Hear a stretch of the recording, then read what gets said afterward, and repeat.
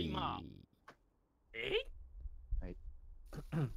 ということでですね、ツイッターにも投稿します。浦島坂田戦の月曜日、103回目で合ってるかな ?103 回目。え今日103回カウントするのね。あれ？しなかしないパターン。まあ、番外編。してもいいよね箸休め的回もあっても、ダメか、うん総集編みたいにする？総集編にしとく？そうか、どっちでもええよ。もう俺進めるとかと思ってたわ。ツイートしましてー。ペペロンペいいペロンチーノしオッケー。ツイートされましただね。えー、リツイートします。はい。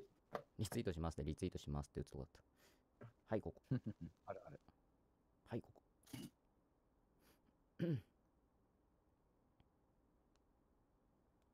はい、オッケー。それはもう始まってたね。ちょっとうん疲れてるからか、ちょっとボケーとしてたわ。ごめん。ん？もう始まってたわ。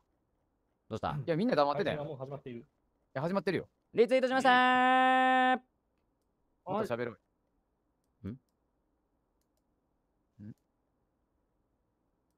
どうした？どうした？私今ん、ご飯食べてるの。そう。マシーは？あ、あ、あれ、俺聞こえてる？あ、聞こえてる聞こえてる。スルメク。ね、ちょっと今日モチベ低すぎへん。えー、何これ？どうどういうことなの？俺なんて喉痛いのにこんな喋ってんのにさ。え？ー、どういリーダーこんな頑張ってるのに。おら！うこと？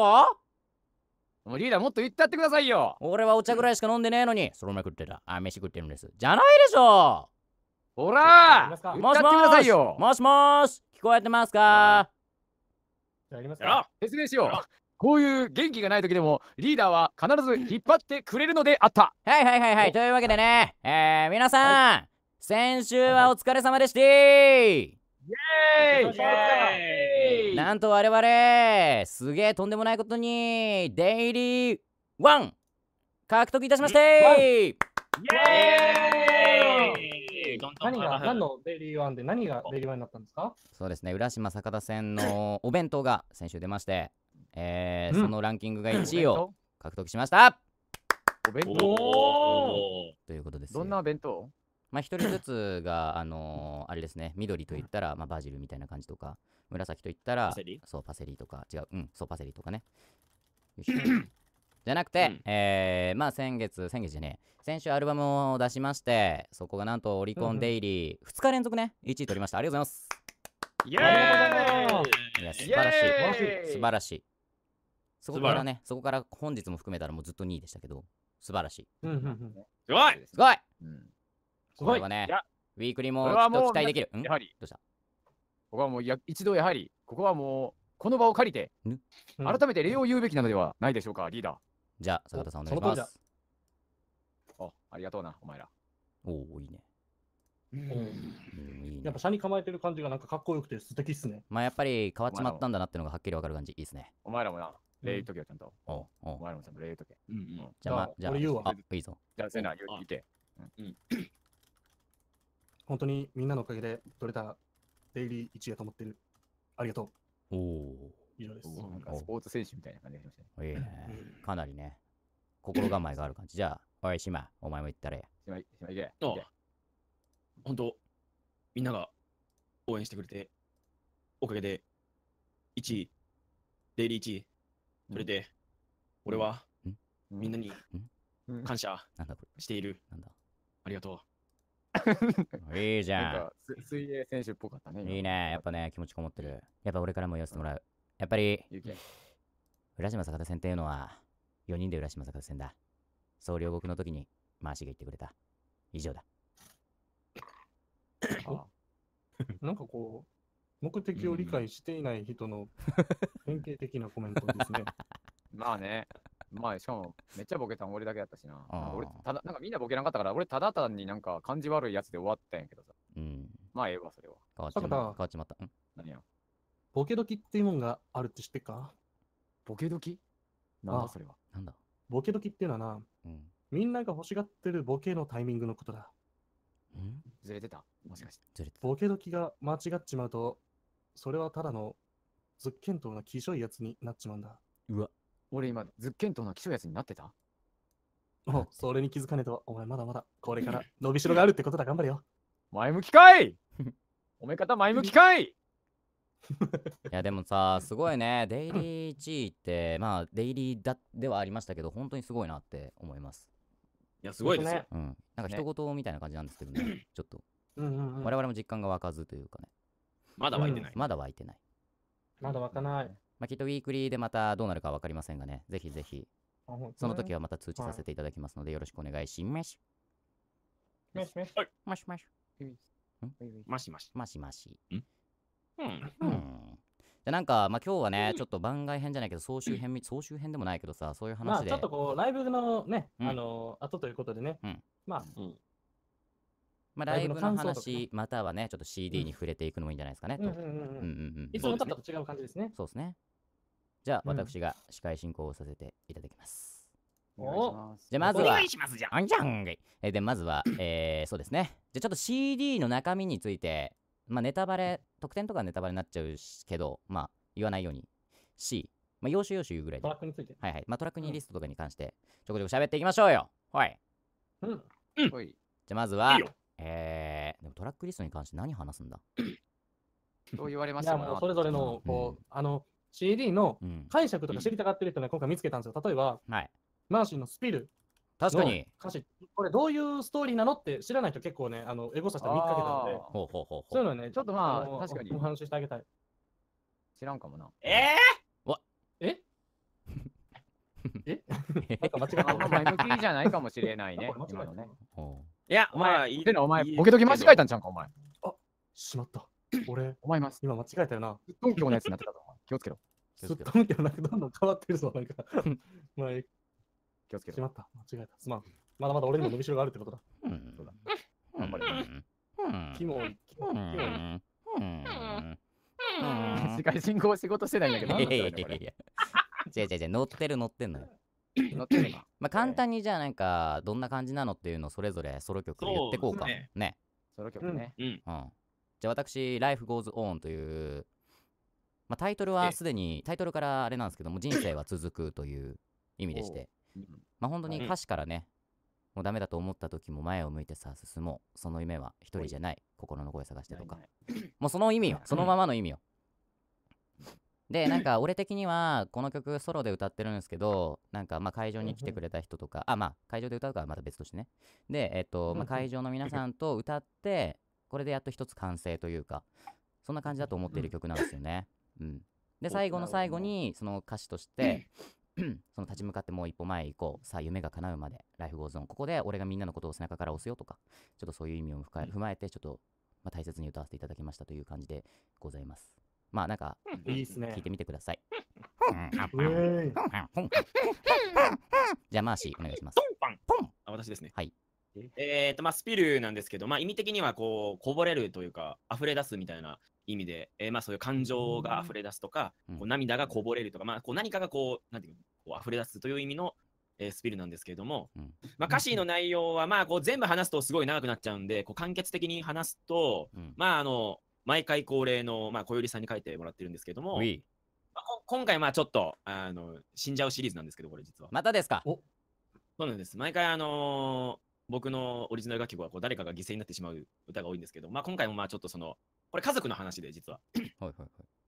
で、こう、うんまあ、奥さんが先に行っちゃうんですね、これ。うん自分の奥さんが。亡くなられるということですね。亡くなられてしまって、うんで、一応その小百合さんとかにお伝えしたのは、うんまあその、なんていうの、あの、まあ、奥さんの余命が宣告されると。うんうんうん、で、まあその時まだ子供いなかったんですけども、最後に何がしたいかって話した時に、子供が欲しいなと。うん。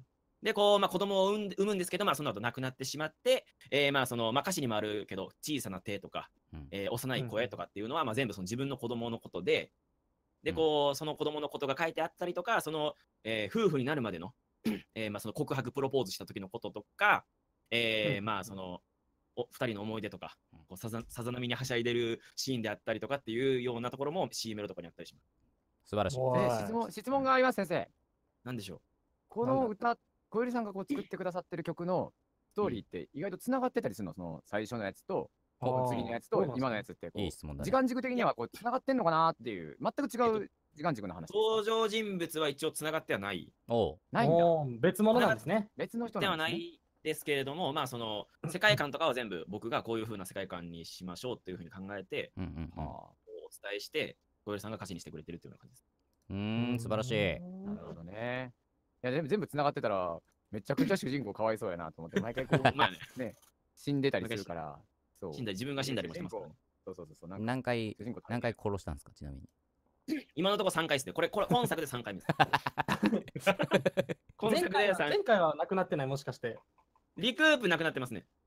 え Recoup なくなってるなくなってる Recoup すごいな Recoup なくなってるし、ノートブックが大丈夫なんだノートブックは、えー、と遠距離のままのうんうんギリセーフ。神様ギリセーフ神様のやつは神様のやつは、あのーえっ、と、あれ、メモリーログの、うん。うん。うん。メメモリーログに収録されたやつは、うん。えっ、と、簡単に説明すると、うん。好きになって殺そうとしたら殺された。たやろ？じゃあじゃああのー設定があって、はい。うん女性を好きになるんですよ。うん。うん。うん。うんでもその女性は、その今主人公が生きてる世界を作った神なんですよ。へえ。で、神様を好きになってしまって、おうん。で、好きすぎるあまり、その彼女を殺してしまうんですけど、なんでやねん。神なん神なんで知らない。知らないんですよ。なんだ？うん。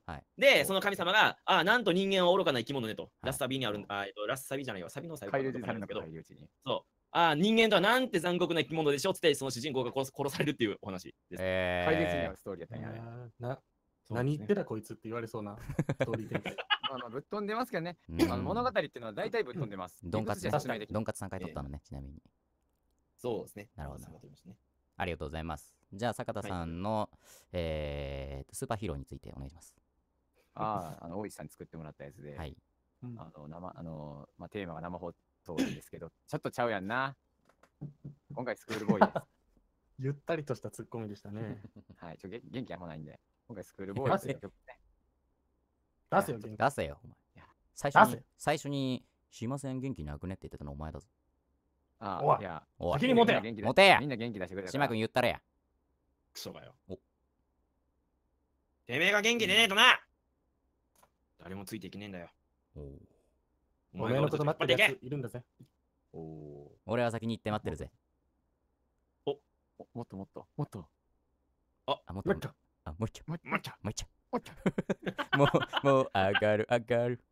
もっもっともう一丁わかる人に俺らしかわかんねえよ。先説明するわ、じゃあスクールボーイな。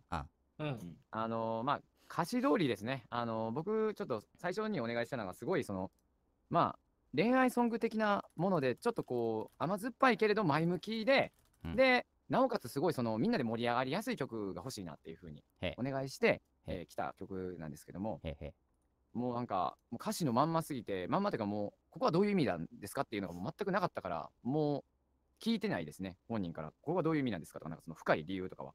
多分まんまなんやろな。本当に見れば歌詞のまんま素直に、うんうんそう、素直に歌詞のまんま歌ってますね。素晴らしい。うん。まあ、そうなんですよ。だからその、前向きな恋愛なんだけど、こう、ちょっと甘酸っぱいというような曲ですね。なるほど。で、ライブなんですけども、ライブで、お。この間初めて、あ、いや、やややったかやってないかは置いといて、まあまあまあまいや、置いといて、うん。置いといて、う。ん。楽しそうだなって思いました。以上です。おおありがとうございます。ぬおーはい。じゃあ千羅さんの色恋についてお願いします。えーっとですね、やっぱあれはこう、なんていうんですかね、やっぱ女の子の目線なんですけれども、はい。まあちょっとこう、叶わない恋をうんしてしまいまして、で、まあ相手の人にちょっとこう、まあ、もてあそばれちゃうよう、違うね、違うか。違うね。今回、どうしたあ今回、えっとま負け負けやピパス。負けやパスでしたね。すみま嫁マイク嫁プレッシャープレッシャープレッシャーせん負け負けやパスお願いします。そんなシャリシャリしてへんわ。メイクはパス。あマイクメイクって言うんですね。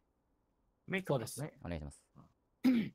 メイクはパスはですね、まあこれはあの、なんていうんですかね、意味合いとしてはこう、くっていおあらうあら。意味合いなんですよ。あらあらあら。モーション、うん。メイクアップパスっていうくっていいですよ。主人公はね、女の子なんですけど、一応。まだ女の子目線。そう。なのよ。で、まあ、なんていうのかな。また？まあ、その、まあ、歌詞にもあるんですけれども、はい。こう、真珠の首は探すの真夜中ってあるんですけどまあ、要は、なんですかね、まあ、自分にこう首輪をつけてほしい的な、まあ、この自分の好きな人に、うん。まあ、こう、そういうふうにまっすぐに行って、まあ、そういうふうに、こう、自分を、なんていうのかな、見初めてほしいというかね。へいへいへい。真夜中に探しに行くんですか？そうなので、ちょっとね、はいはい。こうまあ、大人というか、ちょっと遊び心もあるんやけども、まあ、ちょっと出口塞いでっていう意味合いでは、まあ、本当にもうねうん、こう出口塞いでる意味合い分かりますよね。はいまあ、もう決めてよって、私にしてよっていうような、そういうような意味合いがある言葉ですね。なるほど。で、まあ、その攻め方っていうのは、ちょっとこう、下心が入り混じってるような、なんていうんですかね、うん大人なうん、色気のあるうん口説き方をして、はいはいはい。で、うん自分にしてよって言って攻めてるような女性の歌ですね。片思い系なんですね、一応これは。片思い系や。片思い系か。はいただ相手は、うんそう、相手は結構、まあ、のらりくらりというか、結構余裕のある感じで、はいあくまでこっちも余裕がある感じやけど、うん。攻めてるんやけど、まあ、余裕を出してるけど、ほんまは出口塞いでとか、首輪をしてとか、うんうんうん。そういう混じってる。そういういやもうその女の子に俺言いたいもん。どうした？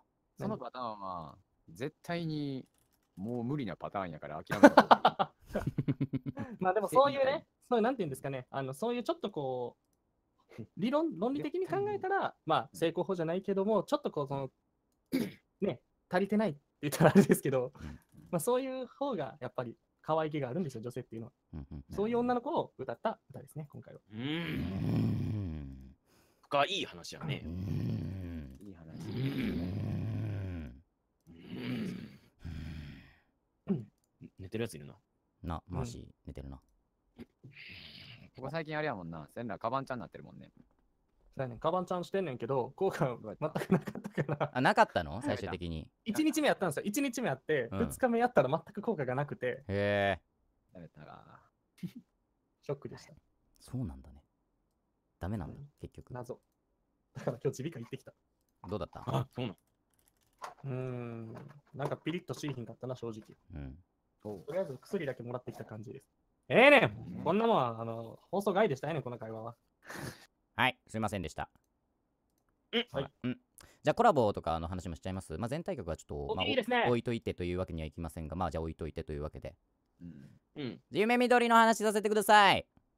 いやーまあ、最初バックオンさんにお願いした時ってすごいまあ俺たち結構友情がうんぬんかんぬんって話をして河原でぶん殴り合うようなみたいな感じの話をして、で言うてうん。で言うて俺ら本当にまあ10年ぐらいの付き合いだよね多分。長いですよね。そうそうそう。だからまあ本当に歌詞を見ていただければ本当にその通りというか本当になんかもそううね。ゆ10年分の友情が積み重なったような 歌詞になっておりますね、えええええまあ、一斉のでね、まあ、始まったうん、なんか、もありましたしね。うんうんうんうんまあ最終的にまあやっぱ君がいるから僕がいるから君と二人ならどこまでもいけるさっていうまあ、本当に熱い思いがこもった曲で初めて、えーラップの方をうんさせていただきましたと。やりました見ね。ましたね。やりましたね。かっこいいよね、ラップね。うん。やったなんかすごい、すごいラあのライブとかもさ、うんあのそのまあ、歌ってない人は楽屋でほら、こうちょっとじゅ次の準備、衣装替えとかさ、うんうんうんまあ衣装替えないんだけど、や今回も衣装替えないんだけど、うんあの、その私服とかにね、うんこう着替えるんですよ、俺は 俺たちもさ、はいはいあ汗かいてるから。ややややややったっけな。い や、やってない、やってない、衣装替えとかないよ。えあない着替えもなかった気がする。わわかんないや。なんだうんなんだでまあ、こう楽楽屋とかにいるときにさ、こう二人の曲が始まったらちょっと見に行きたくなるぐらい、うんこのとことかすごいかっこよくて。嬉しみ。確かに、嬉しみ。めっちゃかっこよかった。なんかこ浦坂ってこうラップなイメージないけど、なんかすごい似合ってるというか、う、うん、あれこんなにかっこいいか、こいつらみたいなぐらい、ちょっと嫉妬するぐらい、めっちゃキラキラ見えるんだよね。へへへへへへラップに必要なものはなんだ熱い思いだけなんですと。まあ、他にもいっぱいあるやろうけど。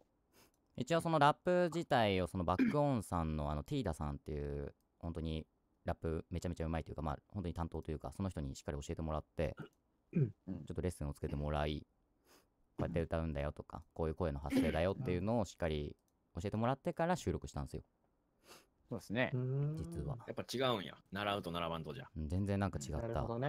ああこうへーこうかすげえこうかみたいなまあ自己自己流にはなってしまったんだけどね最終的な録音にはうんうんうん、いいじゃん。いイエや、でもすごいね、ーイうんいいいいものができましたな。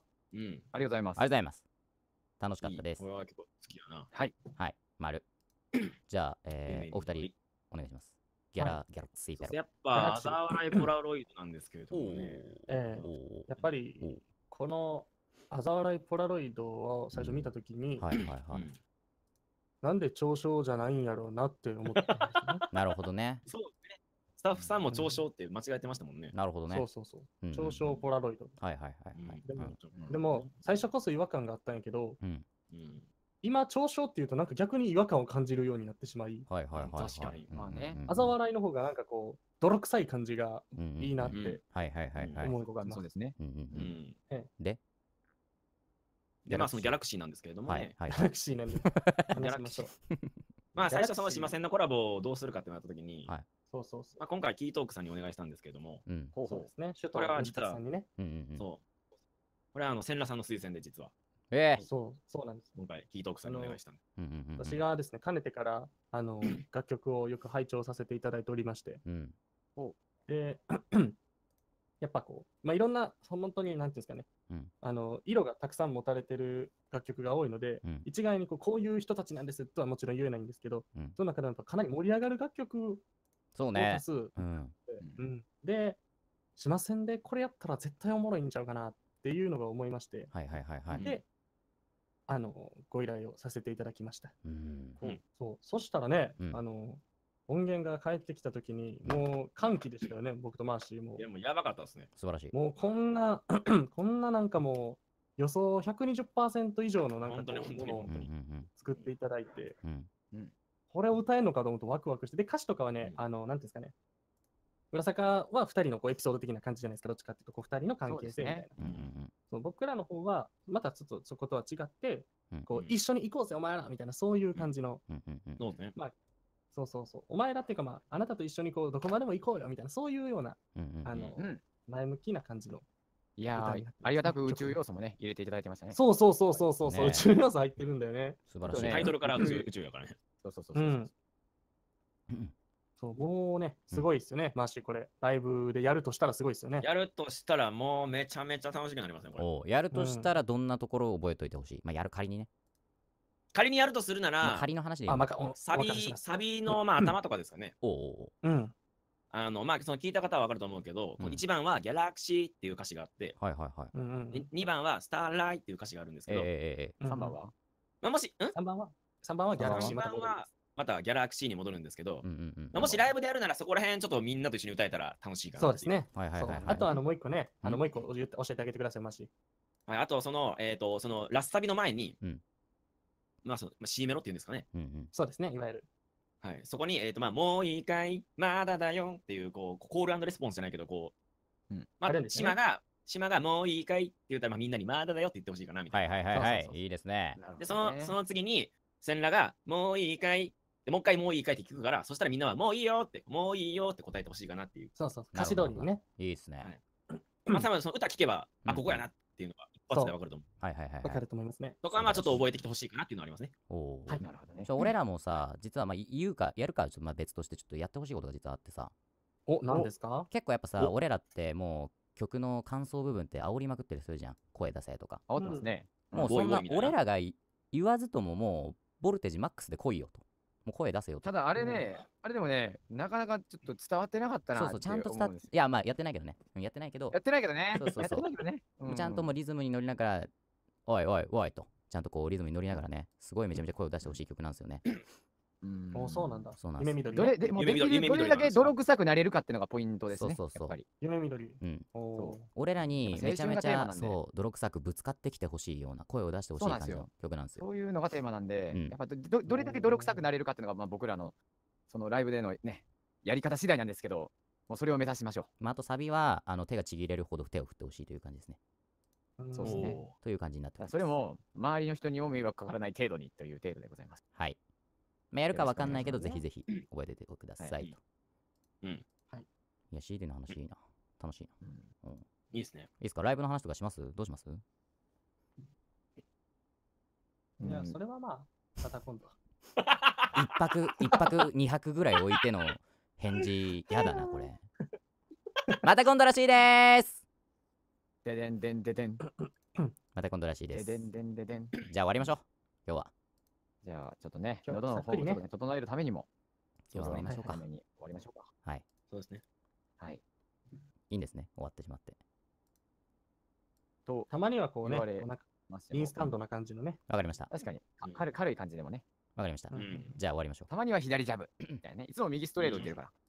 そうそうそう。とのことです。はい。本日は短かったですが、終わります。終わります。あ、待って。なんだい？どうした？もうちょっとか？チャット違う、なん中。かお父さん感あったな。なんか子供がトイレに行ってさ、うん。終わるのを見に来たお父さんが、もうちょっとか？みたいな感じの、あトイレでもうちょっそういうことね。もうちょっとか？っていう感じの雰囲気がしましたね。なるほど。それもう一回言ってみ？ともうちょっとか？ああ、そうです、やっぱそうやわ。おお。しっくりきました。ありがとうございます。確信みたいな。確信にきましたね。疑惑が確信に変わった。はい。おということで、じゃあ終わります。はい。はい。はい。お疲れ様でした。また来週おありが会いましょう。とうございました。お疲れ様でした。ではあっ、しゃっしゃ。また会いましょう。バイバイ。は会いましょう。See you.